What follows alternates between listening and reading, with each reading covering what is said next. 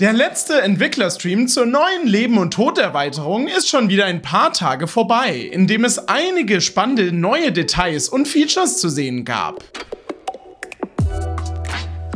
Im Pack gibt es ein neues Belohnungsmerkmal, welches Kinder, die vom Sensenmann und eurem Sim gezeugt wurden, besitzen. Der große Fleck unter dem Ohr verrät dann direkt, wer hier der Papa ist. Dann wurde ein wenig das Gameplay mit den neuen Krähen gezeigt, welche auf dieser Stange hier leben. Die Interaktionen sehen ganz ähnlich aus wie die aus Landhausleben. Die Bedürfnisse seht ihr mit einem Maushover über den Vogel. Wenn ihr euch mit diesem streitet, kann es auch sein, dass ihr der neuen Todesart knapp entkommt und dann eine Standpauke vom Sensenmann zu hören bekommt. Wenn ein Sim stirbt, wird sein Testament, welches der Sim zum Lebzeiten erstellt hat, per Post versandt. Die vorher ausgewählten Erbstücke landen dann automatisch im Familieninventar. Ihr könnt quasi jedes Objekt als Erbstück deklarieren und es anschließend anderen Sims zuweisen, die es erben sollen. Auch im Live-Modus sieht man dann, wem es mal gehört hat. Hier wurde händisch reingeschrieben, zu welchem Ereignis sie den Gegenstand erhalten hat. An diesem Erbstück lässt sich dann zum Beispiel auch der Geist des Verstorbenen rufen, der auf dem Grundstück vorbeischaut. Über ein Objekt im Inventar könnt ihr auch bestimmen, zu wem Kinder oder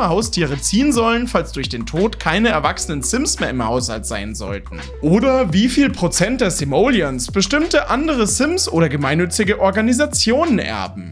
Die Erweiterung lässt sich übrigens bei Instant Gaming deutlich günstiger für 34,37 Euro vorbestellen. Link in der Beschreibung. Die Seelenreise lässt sich im Bestreben-Fenster auffinden. Mit jeder erreichten Stufe schaltet ihr neue Fähigkeiten frei. Welche Aufgaben auf eurer Bucketlist landen, hängt stark mit den Merkmalen und den Beziehungen zu anderen Sims zusammen. Wenn ihr einfach nur ein Ziel aufschreibt, bekommt ihr eine zufällige Aufgabe. Es gibt aber auch Aufgaben aus einer spezifischen Kategorie oder das perfekte Ziel, welches aber nicht immer einfach so verfügbar ist und bei dem ihr euch etwas Spezifisches aussuchen könnt. Von allen Aufgaben gibt es auch eine Menge im Zusammenhang mit anderen Packs. Der Motter Serbu hat hier die 48 möglichen zusammengefasst, die ihr hier auch nochmal im Hintergrund seht. Das hier sind ein paar der sammelbaren Tarotkarten, die auf verschiedene andere Sims Sims-Welten und Charaktere anspielen. Und die es auch im Baumodus als Bilder zum Aufhängen gibt. Wenn ihr Tarotkarten legt, erhaltet ihr immer ein Pop-up-Fenster, in dem ihr dann seht, was es mit diesem auf sich hat. Auch zur neuen aktiv spielbaren Schnitterkarriere haben wir Einblicke in den Arbeitsalltag erhalten.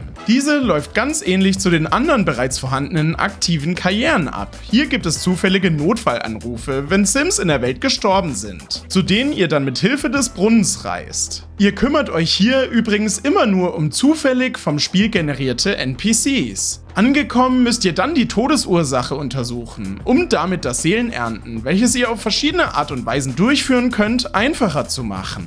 Ehrlicherweise wirken die Aufgaben hier ein wenig repetitiv. Auf dem Arbeitsgrundstück, welches versteckt ist, angekommen, könnt ihr dann die Seelen ins Jenseits entlassen und natürlich noch andere kleine Aufgaben wie an einem Dummy zu üben erledigen. Übrigens, beim Tod eines Sims könnt ihr nun den Sensenmann in verschiedenen Spielen herausfordern, um dafür zu sorgen, dass der Sim weiterlebt, auch wenn das recht unwahrscheinlich ist.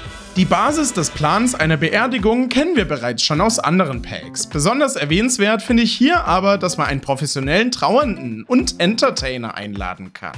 Auch wird hier gezeigt, welche der Aktivitäten sich der verstorbene Sim zu Lebzeiten in seinem Testament gewünscht hat. In das neue Bilderrahmenobjekt kann man auch selbst aufgenommene Bilder einfügen. Ansonsten wird der Sim automatisch so angezeigt, wie er zu Lebzeiten aussah. Auch die Darstellung des Sargs kann nach eigenen Wünschen angepasst werden werden.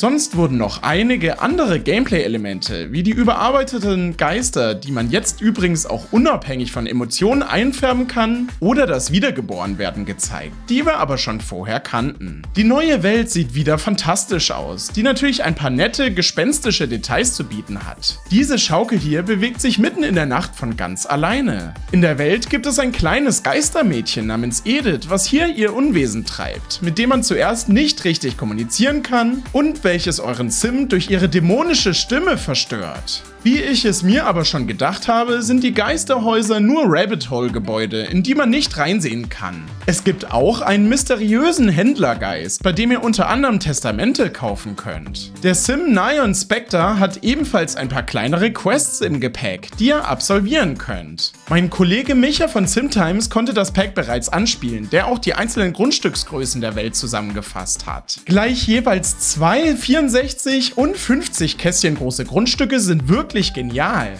Der Simmer Anadius konnte zudem einen für Baumodus und Cars-Enthusiasten spannenden Fund machen. Hier im Hintergrund seht ihr nämlich jetzt eine Liste aller Objekte, die mit dem Pack kommen. Um genau zu sein, 221 im Cars und 202 zum Bauen und Dekorieren. Highlights sind definitiv die neuen Küchentheken. Hier im Hintergrund seht ihr einige der neuen Objekte zum Bauen und Dekorieren. Der Stil ist generell natürlich sehr dunkel und mit Holz ausgeschmückt. Es gibt aber auch ein paar vereinzelt moderne Elemente. Neben einer neuen Glasdach-Variante kann man jetzt auch diese kaputten Bodenelemente aufs Dach platzieren, um dem Haus einen eingefallenen Look zu verleihen. Und im Cars wurden diese neuen Kleider hinzugefügt, bei denen die Hände und Beine entweder ganz verschwinden oder mit knochigen Skeletthänden ausgestattet sind, was wirklich gespenstisch cool und halb tot aussieht. Die Klamotten sind generell natürlich eher dunkel und mit viel kleinen Mustern sowie Rüschen, auffälligen Kragen und transparenten Elementen dekoriert. Hier hier seht ihr auch nochmal die Frisuren der Frauen. Auch für Kinder sind ein paar nette Sachen mit dabei, auch wenn es wie sonst auch nicht mal ansatzweise so viele wie bei den Erwachsenen sind. Lasst gerne ein Like und ein Abo da, wenn ihr meinen Anspielstream zur Erweiterung nicht verpassen wollt. Also dann, bis zum nächsten Video.